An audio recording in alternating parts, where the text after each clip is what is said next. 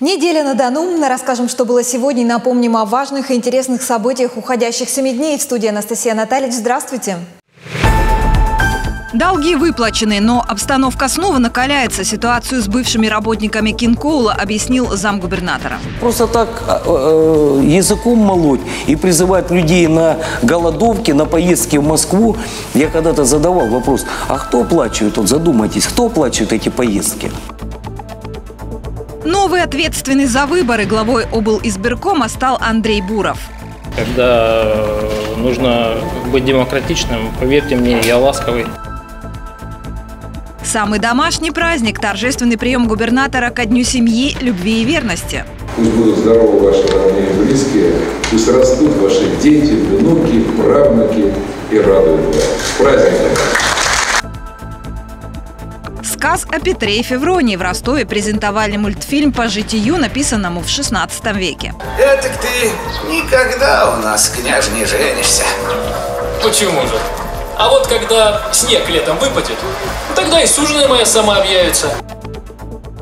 Ручной потомок Юлы. Разбираем достоинства и опасности новомодной игрушки спиннера. Боли не чувствовал такой прям сильный, когда он мне отлетел в глаз. Я вообще думал то, что из какого-то другого места что-то другое прилетело.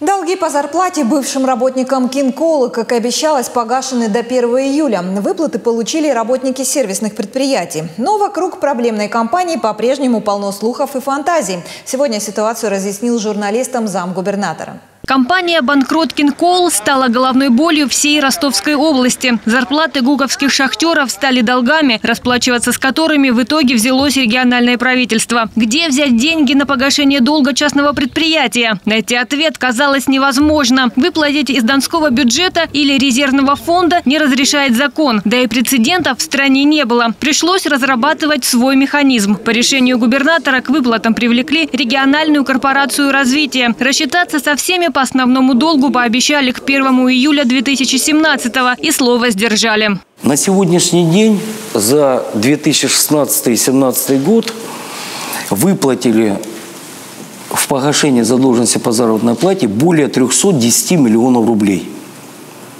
Более 310 миллионов рублей. Более трех тысяч человек получили задолженность по заработной плате. Остались только компенсационные выплаты. Это, к примеру, отпускные или алименты. Их будут погашать конкурсные управляющие, как только имущество компании распродадут на торгах. Я положительно оцениваю ситуацию с выплатами. Будем говорить, те, кто э, принес заявление, э, они получили э, благотворительную помощь в размере задолженности по зарплате. То есть я оцениваю это положительно. Ну, люди, есть еще люди, которые не пришли, не знаю по какой причине они. Ну, чтобы не знали, не может быть. Может быть, выехали куда-то из города. Для части людей, не обратившихся за оплатой, мы зарезервировали некоторую сумму, провели подомовые обходы, предупредили родственников, что они могут обратиться, предоставить документы и получить зарплату, заверил губернатор. Помощь семьям шахтеров оказала и региональная Минтруда и соцразвитие, выделив более 25 миллионов рублей. Бывшим сотрудникам Кинкола помогли с поиском работы. Трудоустроить удалось большую часть обратившихся в службу занятости. Однако ситуация в Гуково по-прежнему напряженная. Оппозиция продолжает призывать шахтеров к пикетам и голодовкам, вместо того, чтобы реально помочь людям. Просто так э, языком молоть и призывать людей на голодовки, на поездки в Москву. Я когда-то задавал вопрос, а кто оплачивает, вот задумайтесь, кто оплачивает эти поездки? Чтобы подобные ситуации не повторялись, в правительстве региона разработали предложение по совершенствованию федерального законодательства и направили в Госдуму. Виктория Щединина, Сергей Вишняков, Дон-24, Ростов-на-Дону. Газоснабжение Волгодонской и центральных районов области улучшится. Об этом Василий Голубев договорился с Алексеем Миллером. После встречи в Питере председатель правления «Газпрома» дал распоряжение построить газопровод-перемычку между магистральным Починки Изобильное и существующим отводом на Волгодонск. Проект разработают до конца 2018 года и уже в 2019 начнется строительство. Эта перемычка должна решить проблему нехватки газа центра области и помочь воплощению крупных инвестпроектов. Также губернатор и глава глава «Газпрома» говорили о реконструкции газовых сетей шахт Игукова и о социальных проектах компании, строительстве спорткомплекса в Новошахтинске и преображении Ростовской набережной. Кадровые изменения недели. Донской ГУФСИН остался без начальника. Генерал-лейтенант внутренней службы Сергей Смирнов освобожден от должности указом президента России. Областную службу исполнения наказаний Смирнов возглавлял почти пять лет. Вместе с ним Владимир Путин уволил ряд высокопоставленных силовиков. Восемь генералов из структур МВД, МЧС и Федеральной службы исполнения наказаний. Причины увольнения не сообщаются, пока неизвестно и кто заменит бывшего начальника службы. А вот бывший министр обороны России снова в строю и будет трудиться на Донской земле. Анатолий Сердюков возглавил Совет директоров Роствертола. Его кандидатуру утвердили накануне на заседании Совета. Напомню, Сердюков руководил Минобороны с 2007 по 2012 год и ушел в отставку на фоне громкого скандала вокруг уголовного дела о миллиардных хищениях в оборонсервисе. Ему предъявили обвинение в халатности, но после расследования прекратили. В последние три года Анатолий Сердюков занимал ряд высоких постов в государственных корпорациях. И еще одно назначение. Андрей Буров сменил Сергея Юсова на посту главы Донского избиркома. С 2014 года он был заместителем гендиректора Ростовской корпорации развития, а ранее министром внутренней и информационной политики Ростовской области. Нового председателя тайным голосованием выбрала избирательная комиссия, состав которой, замечу, также обновился на треть. Восемь из 14 членов облсбиркома имеют высшее юридическое образование, двое кандидаты юридических наук. За кандидатуру Андрея Бурова подано 13 голосов. Самое главное, не испортить то все хорошее, которое было. А история действительно у избирательной комиссии Ростовской области достаточно грандиозна. Поэтому, конечно, первая задача – это все, что есть сегодня лучше, сохранить. По стилю руководства а, я разный. Вот. Э, когда нужно, я достаточно авторитарный. Когда нужно быть демократичным, поверьте мне, я ласковый. Свой профессионализм новая избирательная комиссия сможет показать уже в марте на выборах президента России, на которых, кстати, впервые не будет открепительных удостоверений. Можно будет просто подать заявление в избирком и проголосовать по месту нахождения. И вот что еще о событиях недели расскажем далее. Самый домашний праздник – торжественный прием губернатора ко Дню семьи, любви и верности. Пусть будут здоровы ваши родные и близкие, пусть растут ваши дети, внуки, правнуки – и радует вас. С праздником! Сказ о Петре и Февронии в Ростове презентовали мультфильм по житию, написанному в 16 веке. Это ты никогда у нас, княж, не женишься. Почему же? А вот когда снег летом выпадет, тогда и суженая моя сама объявится. Корпуса, питание, развлечения – все в норме. Минтруд проверил летние лагеря Неклиновского района после нарушения при заселении. Здесь хорошее чистое море, убранные комнаты, здесь хороший персонал. Ручной потомок Юлы. Разбираем достоинства и опасности новомодной игрушки спиннера. Боли не чувствовал такой прям сильный, когда он мне отлетел в глаз. Я вообще думал то, что из какого-то другого места что-то другое прилетело. Свободу попугаям и законную клетку пернатые нелегалы из Украины задержаны на границе и определены в ростовский зоопарк. Да, выпускали, были заметны признаки удушья, были признаки того, что птица была в стрессе, волновалась.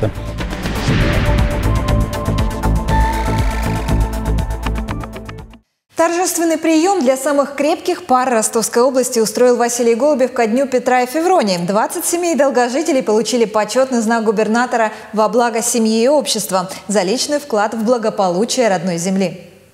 Здравствуйте. Как настроение? Короткий разговор и фото на память. Для будущей семьи Апара 7 июля – особенный день, день знакомства. У нас сегодня юбилей, 5 лет, как мы вместе, мы, и мы познакомились сегодня. А так вот я вот не ростовская, как говорится.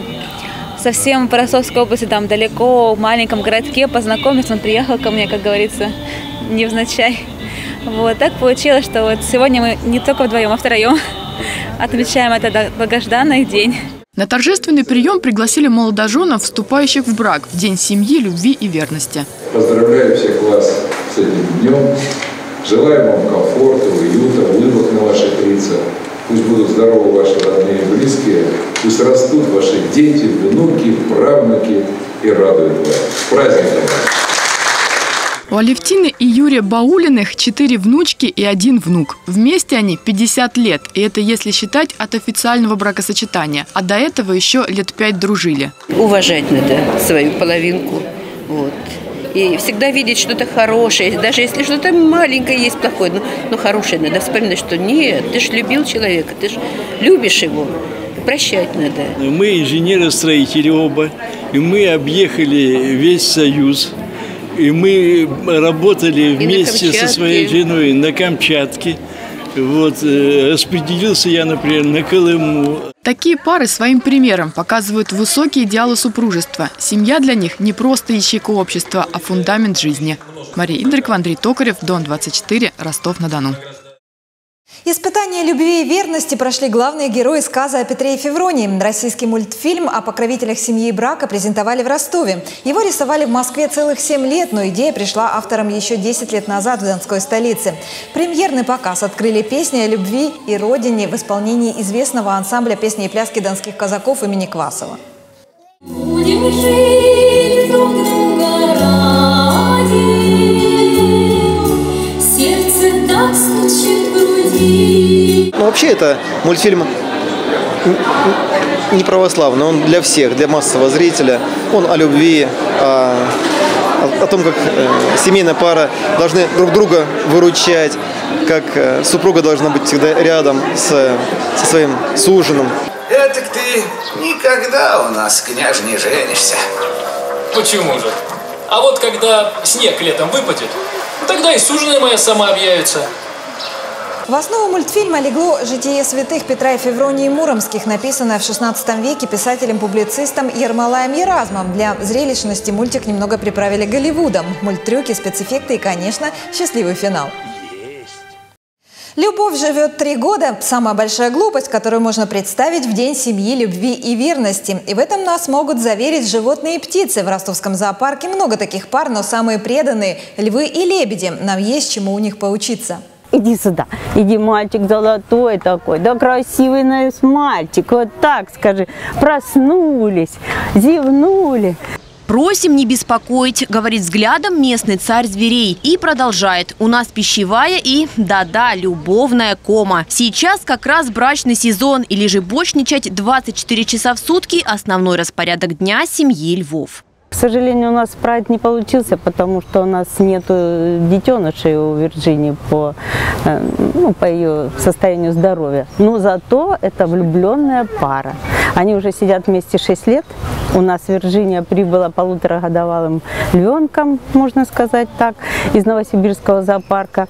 А Цезарь у нас поступил из сафари-парка города Пятигорска но не напрямую, а через цирк, так что Цезарь еще и артист. Их пары с Виржинией могло и не быть. Своенравная дикая кошка сопротивлялась, но строптивую лев укротил, и теперь в их семье совет да любовь. Конфликты у них только, опять-таки, на сексуальной почве бывает. Что наш мальчик Цезарь все э, хочет заниматься любовью, а Вирджиния уже не хочет этого. И вот тогда у них, конечно, конфликт. В общем, все как у людей. Любовь, морковь и ряска. Но это уже о следующей счастливой паре зоопарка – лебяжьей. А ряска, не поверите, и накормит, и помирит изящных пернатых. Эта зеленая жижа называется ряска. Любимое лакомство наших лебедей. Она не только вкусная, но очень полезная. Здесь очень много микроэлементов, витаминов и минеральных веществ. На кормежку приплыло все семейство. В этом лебедином озере живут папа, мама и пять еще гадких утят.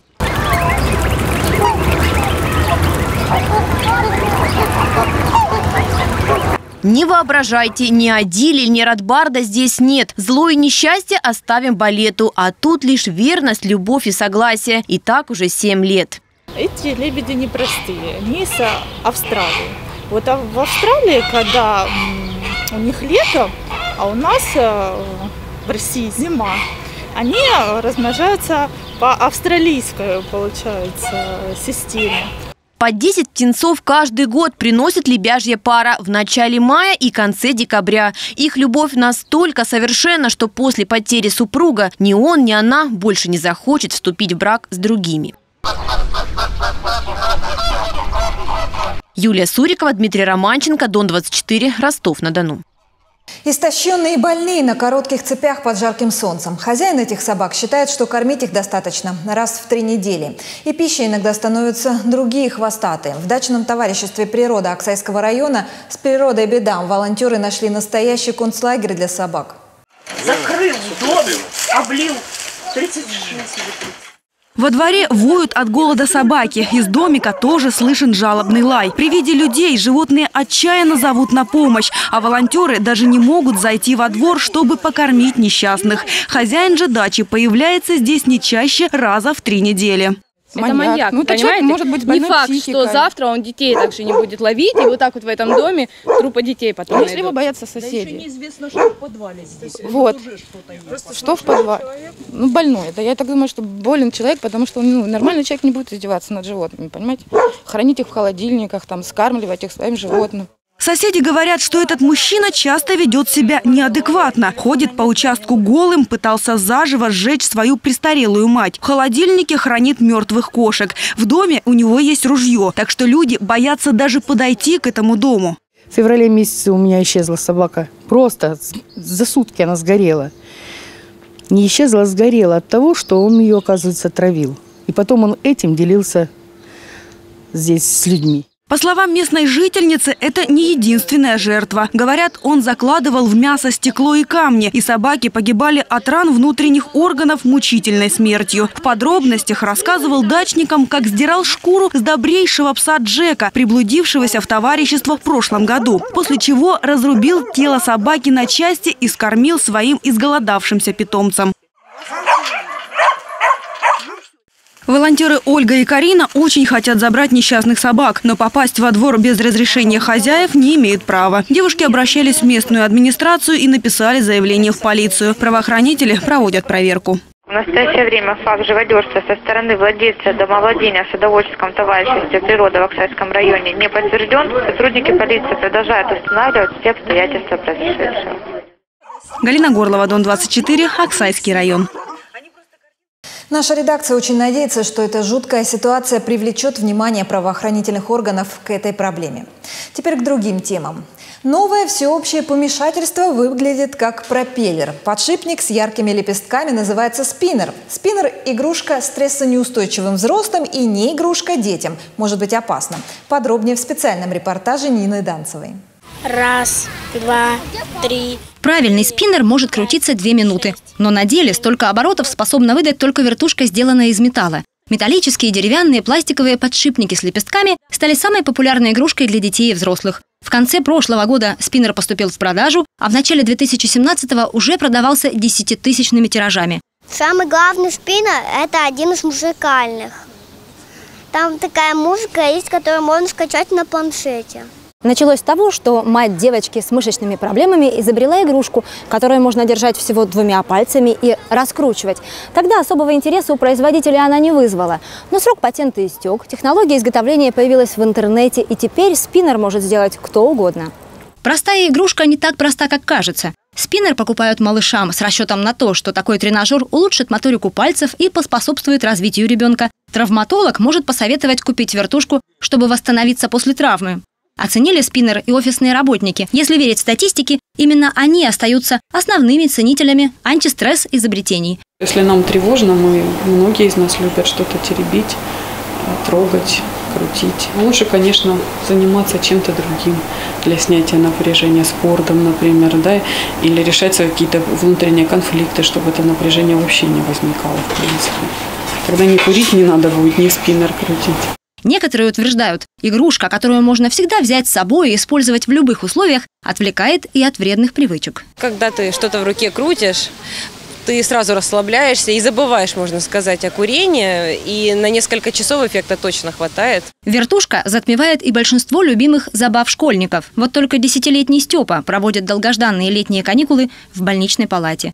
За несколько дней мальчик перенес две операции, и врачам чудом удалось спасти глаз, в который попал спиннер.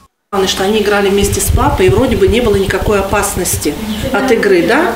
Опасность, вот она была совсем рядом. Спиннер отскочил и попал ребенку в левый глаз.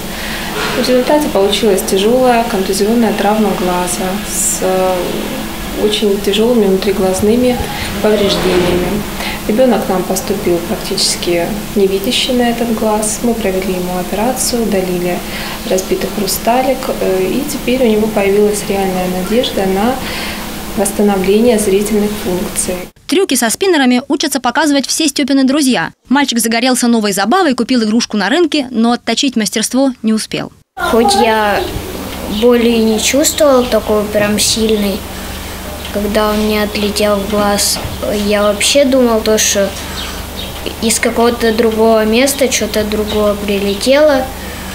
И ну все просто стал левый глаз черным, меня подхватил папа, и мы побежали все в машину. В июле Степе предстоит операция по пересадке хрусталика в Санкт-Петербурге. А как только врачи разрешили активные игры, мальчик попросил принести в палату футбольный мяч. О спиннерах даже слышать не хочет. Буквально за полгода у новой игрушки появились ярые поклонники и категоричные противники. Возможно, спиннер станет символом этого десятилетия, как кубик Рубика в 80-х, пружинка радуга в 90-х и тамагочи в начале нулевых. Но пока психологи и педагоги рассуждают о вреде и пользе такой вертушки, в продаже начали появляться мокуру – игрушка антистресс из бука, в переводе с японского «переворот дерева». Нина Данцева, Андрей Токарев, Станислав Фоменко, Дон-24, Ростов-на-Дону. И в заключение выпуска спортивной новости. Впервые в истории нашей области девушка получила звание мастера спорта международного класса по бодибилдингу. Причем даже из донских мужчин на такой высокий мировой уровень раньше выходил лишь один строитель тела. Так что давайте понаблюдаем, как работает штанго-гантельная диета. Коня на скаку остановит и в горящую избу войдет. Это не про Евгению Мищенко. Про нее разве что скажешь обаятельная, привлекательная и с чувством юмора. В образовании я врач-стоматолог, но по профессии не работала ни дня, и слава богу, э, я очень рада этому, так как попала в этот спорт, и это стало просто неотъемлемой частью моей жизни. Я тренирую, я ну, являюсь персональным тренером, я просто так кайфую от этого. В бодибилдинг Женя пришла из акробатики и на новом поприще уже успела завоевать четвертое место на чемпионате мира и получить звание международника. Я еще до конца поверить в это не могу. Я просто об этом даже не мечтала, и тут так все быстро, как бы. Вот как мой папа говорит, э, ты, говорит, даже не заметила, как э, достигла таких высоких целей, потому что, ну, действительно, ты занимаешься то, что очень любишь, тем, что очень любишь. И все, вершины как бы достигаются относительно легко. Главное – путь от которого мы получаем удовольствие. Для областной федерации бодибилдинга это несомненный успех. И вдвойне приятно, что звание мастера спорта международного класса получила девушка. Это второй, второй спортсмен Федерации бодибилдинга за всю историю э, бодибилдинга в Ростовской области, который получил такое высокое звание. Первый это был Василий Камышников, мужчина, да, это было около 20 лет назад. Неразлучная подруга Евгении Наталья Скулкина также занимается бодибилдингом. Правда, результаты пока не такие впечатляющие. Наталья – мастер спорта и бронзовый призер международного турнира «Олимпия». В бодибилдинг пришла из легкой атлетики и ничуть об этом не пожалела. Для меня спорт это, ну, это как мое, и для нее также это как мое второе я, поэтому это не просто так выбор, это просто продолжение одного спорта в другом. Девчонки неразлучны на спортивной арене, на тренировке и в жизни. Все стараются делать вместе. Сейчас дуэтом готовятся к предстоящему международному турниру «Арнольд Классик», который пройдет в Испании и к чемпионату мира во Франции. Ощущение супер. А сейчас? Еще супер. Вот такие сильные и красивые девушки живут у нас в Ростове. Все! Мне страшно. Роман Саганов, Тагир Фатахов, Дон-24, Ростов-на-Дону. На монеты к Мундиалю теперь попал и Ростов-на-Дону. На этой неделе Центробанк выпустил в обращение 5 памятных монет чемпионата мира по футболу 2018. Их номинал 3 и 25 рублей. 4 трехрублевые сделаны из серебра, а 25-рублевая из недрагоценного металла. Серебряные монеты посвящены четырем городам Мундиаля – Волгограду, Нижнему Новгороду, Самаре и Ростову-на-Дону. На их обороте футболист с мячом и местная достопримечательность. У Волгограда это родина-мать, у Нижнего Новгорода – Кремль, у Самары – ракетоноситель «Союз», а у Донской столицы – мемориальная стела на Театральной площади.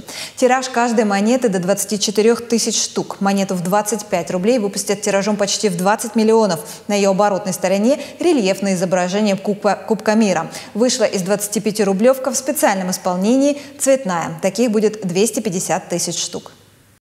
В таком русле течет жизнь на Дону. В студии была Анастасия Натальевич. До встречи через неделю.